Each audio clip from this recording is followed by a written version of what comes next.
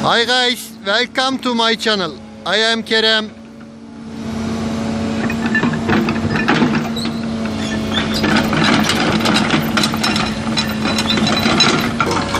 Arkadaşlar bu videomuzda bakın bunu öğrenin önemli bir öğreti. İnşaat dolgularını ustamış az önce bekonun altıyla demirleri yatırdı. Kısa sivri demirleri yatırdı. Çünkü bu da lastikli bir makine Backloader gibi inşaat içerisine temel içerisine gireceği zaman tıpkı bunun gibi kısa ve sivri demirleri yatırmazsanız lastiklerinizi fosur fosur deşersiniz, delersiniz, patlatırsınız. Bunu da öğrenmiş olalım bu videomda.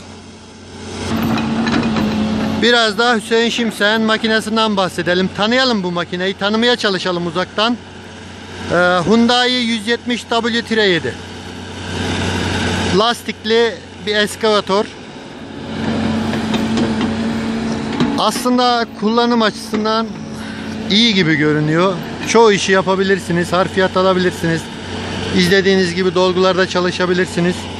Köylere de gidip gelebilirsiniz. Taşımanız, lobetiniz, şunuz bunuz yoksa paletli makineye nazaran e, bu makineyle e, çoğu mesafeye gidip gelebilirsiniz. İşlerinizi yapabilirsiniz. 17 tonluk bir makine bu.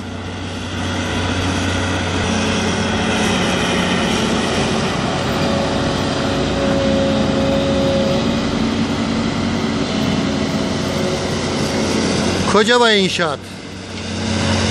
Ankara Polatlı'da inşaat sektöründe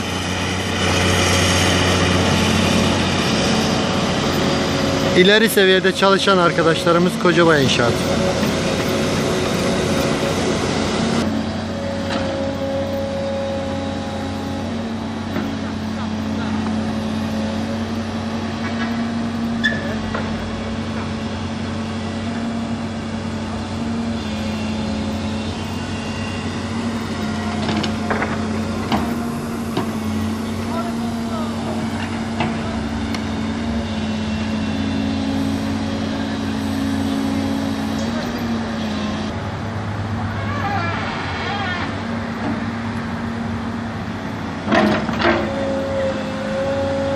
Zaman zaman makine ileri geri hareket edip biliyorsunuz sağlam yerlerde kendini yerleştirerek oturarak o şekilde bekosuyla işini yapmaya çalışıyor.